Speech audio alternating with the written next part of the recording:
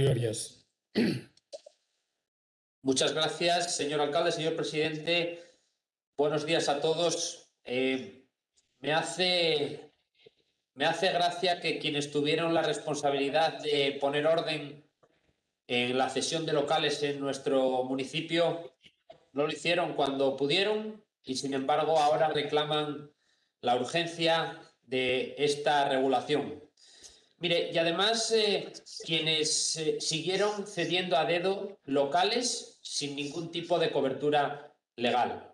Mire, nosotros vamos a votar en contra de esta proposición y no vamos a votar en contra eh, porque se nos antoje, sino porque durante el último año se lleva trabajando desde el área, desde la sección de gestión de patrimonio en un proyecto de ordenanza, un proyecto de ordenanza que, vamos, eh, que está finalizado y que en las próximas horas estará insertada y probablemente sea aprobado por la Junta de Gobierno para su tramitación. Eh, es una pena que ustedes eh, intenten o pretendan que nosotros eh, hagamos las cosas cuando ustedes quieren.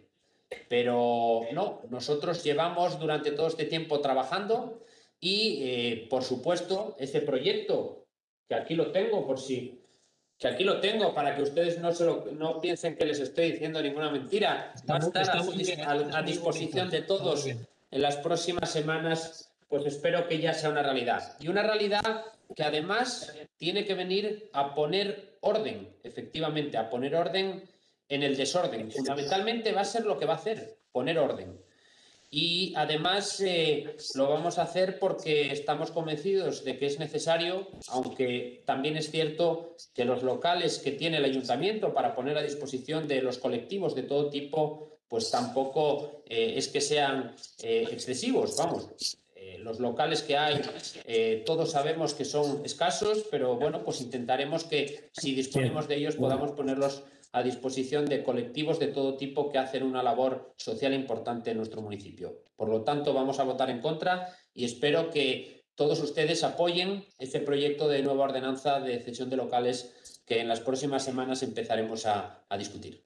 Mario, estás diciendo con dos narices que antes de aprobar la ordenanza has desalojado a los vecinos de Ventanielles o sea, pocos días antes de, aprobar una ordenanza que va a regular la ocupación de los espacios, has echado a todas las asociaciones de vecinos del, barrio.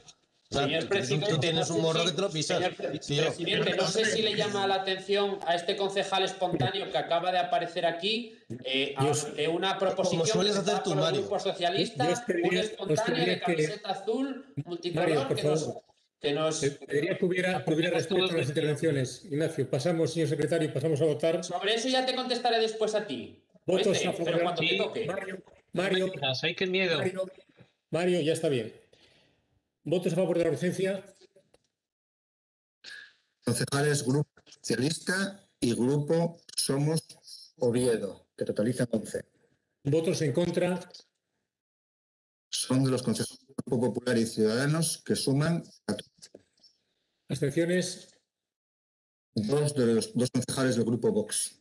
Queda rechazada la urgencia. Pasamos a la siguiente.